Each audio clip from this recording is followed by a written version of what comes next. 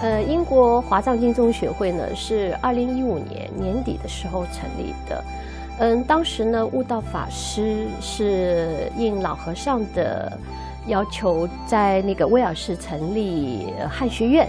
然后呢，英国华藏经宗学会在那里成立以后呢，可以援助汉学院，包括汉学院，我们有成立了医疗小组，然后对学生和老师每周一次的开放门诊，就是保证他们能够身体健康，安安心心的读书和教学。然后在生活上，我们也有一些护法也好，一些。义工也好，还有包括悟道法师，一直有对他们生活上，包括送去食品啊。因为威尔士他相处的地段比较偏远，呃，英国本来就是一个欧洲国家，购买中国食品啊或什么都不太方便。呃，流通处呢就会经常组织一些义工啊什么，送一些生活上的物资去汉学院。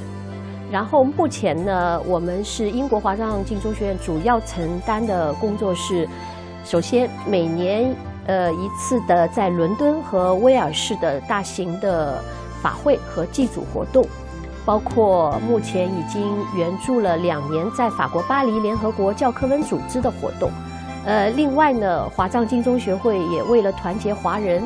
呃，帮助在英的华人有地方修佛念佛。然后每个周末呢，星期六有念佛绕佛活动，星期天呢三十系念的共修活动，星期一到星期天呢是对当地的一些英国人还有本地人做一个法宝流通的地方，因为以前在英国没有这样一块地方让我们可以念佛修佛，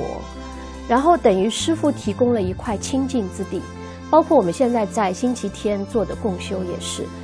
呃，很多师姐师兄过来就觉得，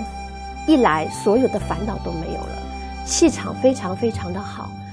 然后很多外国人因为我们那边提供的书籍，受益都非浅。流量最好的一本书叫呃《Heart of Buddha》佛祖的心嘛，这里边所收集的言语。外国人看的再浮躁的心就一下子静下来，而且这是都是免费流通的，所以让他们都怀有一颗感恩的心。我记得老和尚和师傅以前一直说要同化他们，要把他们带进阿弥陀佛的世界，让他们知道有一个地方叫净土。